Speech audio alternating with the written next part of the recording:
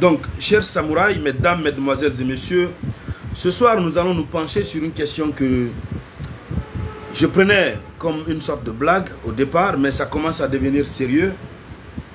La question concerne l'exportation du courant de la Guinée vers les pays frontaliers. Alors, le président de la République et son gouvernement insistent sur cette question, dont il faudrait qu'on analyse un peu plus ici sur la tribune de l'éveil des consciences.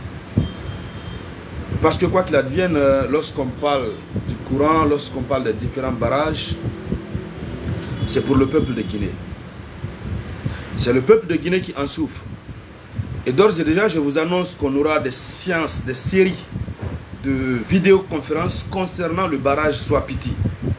Parce que les études, j'ai des rapports à ma disposition, des études ont été faites par des institutions très crédibles qui nous prouvent à suffisance que le barrage de Swapiti, par exemple, a assez d'impact sur le plan écologique. Et un impact qui va gravement jouer sur les populations riveraines. Quoi qu'il advienne, on ne peut pas faire des œufs, des omelettes sans casser des œufs. Merci Jaroul, MKG. On ne peut pas faire des omelettes sans casser des œufs. Nous sommes d'accord. Nous aurons l'occasion de revenir là-dessus amplement. Parce qu'il y a quelque chose un peu plus non appréciable qui se passe avec le barrage de Swapiti que nous aurons l'occasion d'en parler. J'ai des rapports que je vais vous faire parvenir. J'ai des informations, des vidéos que je vais vous faire parvenir. Des informations qui émanent d'institutions crédibles par rapport à ce que nous risquons de traverser avec ces barrages. Donc, avant d'aller sur ce angle-là, aujourd'hui la question qu'on va se poser c'est de savoir, chers combattants, comment est-ce que la Guinée, à ce stade-là, peut penser pouvoir procurer de l'électricité à d'autres pays? Je n'arrive pas à comprendre ce que je n'arrive pas à comprendre. Et je crois que beaucoup ne peuvent pas aussi comprendre. Nous avons vu récemment la jeunesse de Cancan et de Kouroussa. Ils sont sortis pour manifester. Ils disent qu'ils ont besoin de l'électricité. Ils ont besoin du courant. Ils en ont besoin. Le gouvernement est passé par des méthodes d'intimidation. Ils sont passés par... Euh, comme on appelle, les notables, on les a mis la pression, ils ont arrêté leur lutte. Tous ceux qui viennent de rejoindre la vidéoconférence du Samouraï, laissez salut en commentaire. Partagez la vidéoconférence, je vous en prie.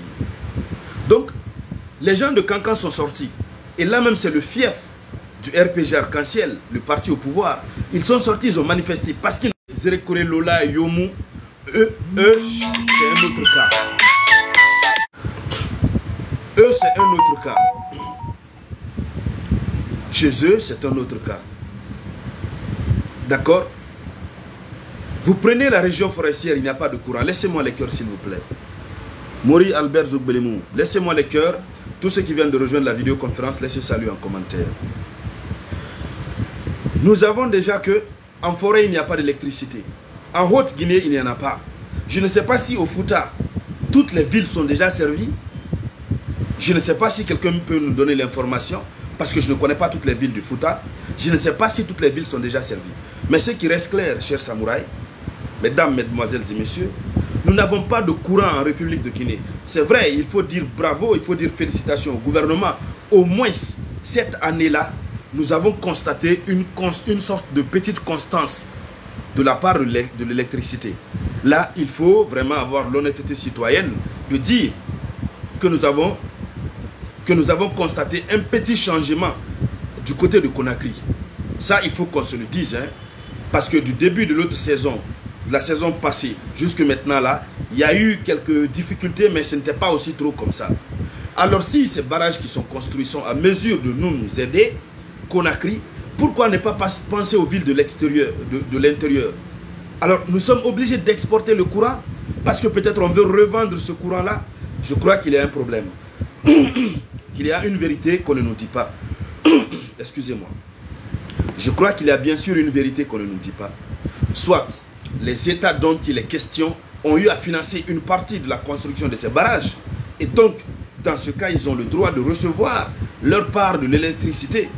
Parce que j'ai eu à lire, un document depuis 2019, un document qui date de 2013, à l'intérieur duquel je ne sais pas, je n'ai pas encore, je ne peux pas affirmer avec exactitude si ces informations sont vraies ou elles sont fausses.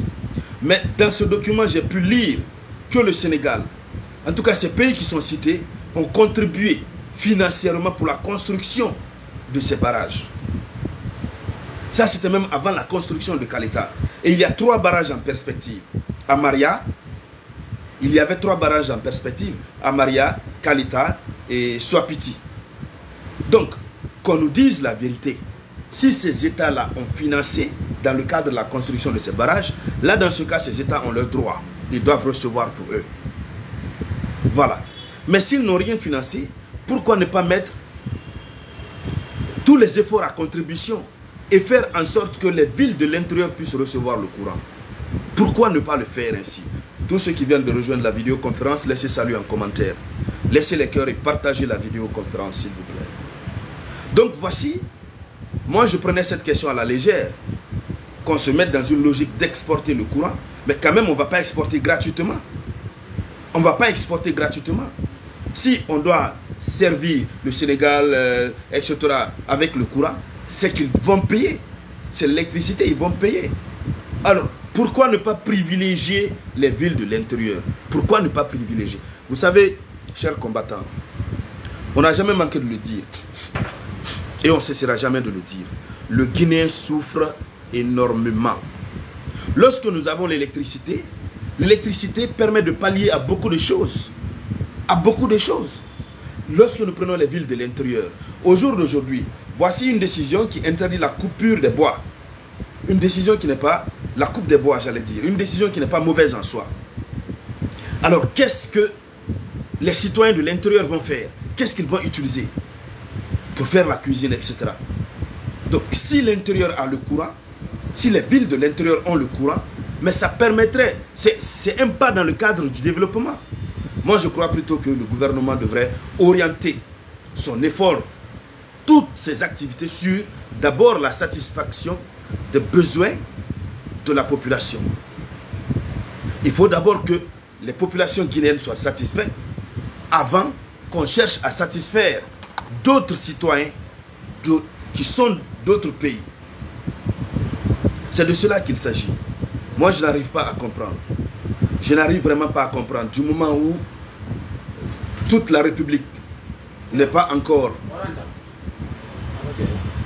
Tiens, viens. Excusez, cher samouraï. Faut fermer, tu m'envoies la clé. Donc, je n'arrive pas à comprendre. Du moment où toutes les villes ne sont pas encore électrifiées. Je n'arrive vraiment pas à comprendre. Si toutes les villes étaient électrifiées, et qu'on cherche maintenant à exporter, à envoyer le courant ailleurs, on pouvait comprendre. On pouvait comprendre. Alors donc, moi j'exhorte plutôt le gouvernement à nous dire la vérité. Comme je le disais tout à l'heure, si et seulement si ces États qu'on veut servir avec le courant, s'ils ont contribué financièrement, qu'on nous le dise. Et là, dans ce cas, nous serons obligés de les servir avec du courant. Et là, dans ce cas, on va reconnaître que même si le gouvernement a fourni de l'effort, parce que la construction du barrage, c'est un effort, même si le gouvernement estime avoir fourni de l'effort, oui, mais cet effort-là a été complété par l'effort des autres États, qui sont des États voisins à nous. Tu as tout fermé oui. Merci. Donc c'est de cela qu'il s'agit, chers samouraïs, chers combattants. On ne peut pas comprendre. On ne peut vraiment pas comprendre. Et moi, euh, j'aurais préféré, même si toutes les villes de l'intérieur sont euh, déjà électrifiées, j'aurais préféré qu'on attende au moins une année, deux ans. Parce qu'on sait déjà ce que Kaleta nous a fait en 2015. 2015, en prélude des élections, on lance Kaleta. Kaleta est lancé. Un, deux, trois, après les élections, tac, le courant commence à partir et à revenir. Donc, maintenant, là, on dit Dieu merci. Et là, il faut dire merci au gouvernement. Voilà, il faut dire merci parce qu'il y a au moins une stabilité, plus ou moins une stabilité du courant. Ça, il faut qu'on le dise. Mais alors, chercher à exporter ce courant pendant que les villes de l'intérieur ne sont pas encore électrifiées, moi, ça me donne beaucoup à réfléchir. C'est de cela qu'il s'agit.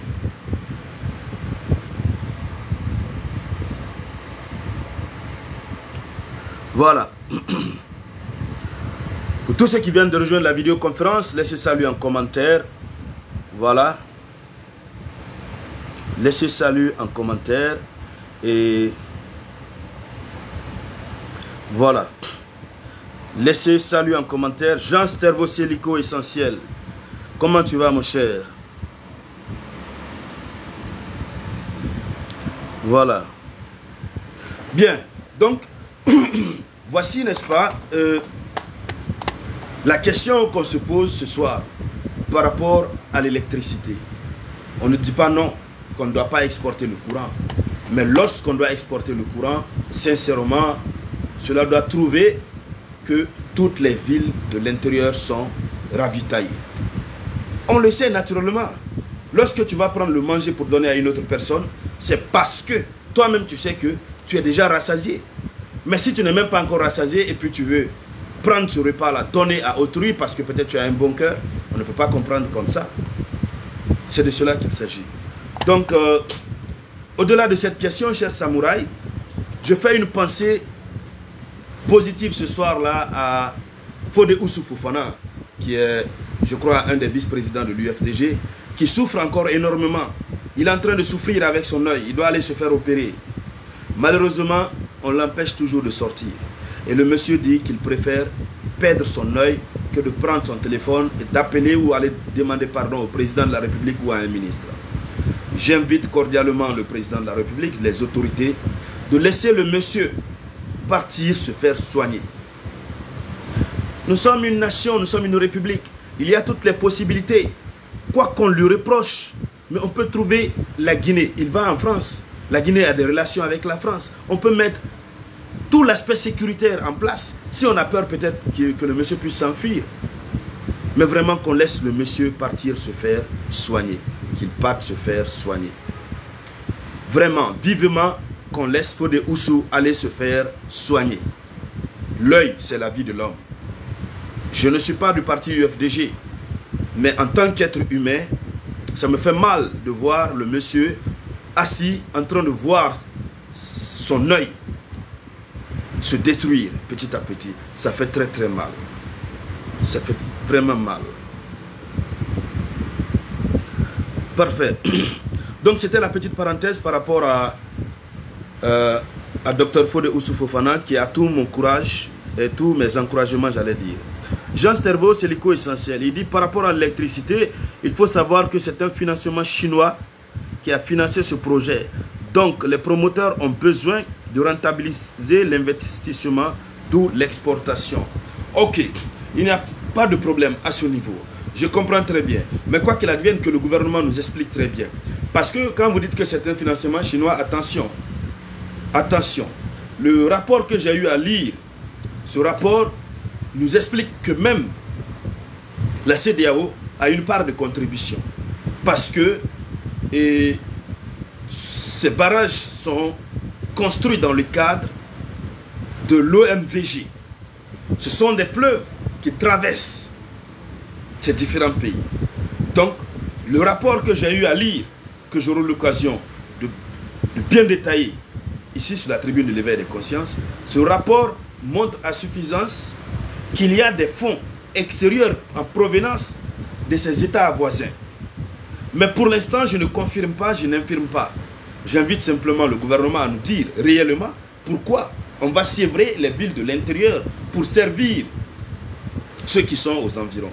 C'est de cela qu'il s'agit. Et en parlant de rentabiliser, de, rentabiliser l'investissement rapidement, la faute est à qui? Lorsque nous avons une société qui ne fonctionne pas correctement, vous avez les agents de l'EDG qui viennent partout où il y a des abonnés ils prennent de l'argent, la corruption a fini par gangréner ce milieu. Ils prennent de l'argent. L'argent qui entre n'est pas versé à la caisse. Pourquoi? Parce que les travailleurs eux-mêmes ne sont pas bien payés. Donc ils sont obligés de se déverser dans la corruption. Vous voyez ce qui se passe? Donc comment est-ce que euh, les recettes de l'EDG peuvent être rentables C'est de cela qu'il s'agit. Donc voici aussi des paramètres que l'État peut voir. Comment faire en sorte pour que l'investissement là soit rentable le plus vite que possible, mais dans le cadre intérieur, dans le cadre interne. C'est de cela qu'il s'agit. Le Sénégal qu'on veut chercher à desservir, le Sénégal a déjà le courant depuis longtemps par rapport à nous autres. Nous-mêmes, nous sommes nouveaux dans cette affaire de courant-là. Nous sommes nouveaux. C'est l'une des rares fois quand même, il faut dire, dire là-bas, à ce niveau, il faut dire félicitations au gouvernement et aux responsables du projet. C'est l'une des rares fois qu'on voit le courant un peu plus stable à Conakry. D'accord, c'est de cela qu'il s'agit. Donc, Jean Stervo, c'est essentiel. Quoi qu'il advienne, il y a plusieurs sources de financement, il me semble-t-il. Mais quoi qu'il advienne, qu'on donne des explications claires et nettes, qu'on puisse comprendre. Il ne faudrait pas qu'on fasse comprendre aux citoyens que non, désormais c'est tellement que c'est ok, tellement que c'est bon, on a désormais les barrages, etc., tellement que c'est propre, on, a même la possibilité d'offrir l'électricité à d'autres pays. Il ne faut pas qu'on nous fasse comprendre cela du moment où les villes de l'intérieur ne sont pas encore desservies en, en électricité. C'est de cela qu'il s'agit.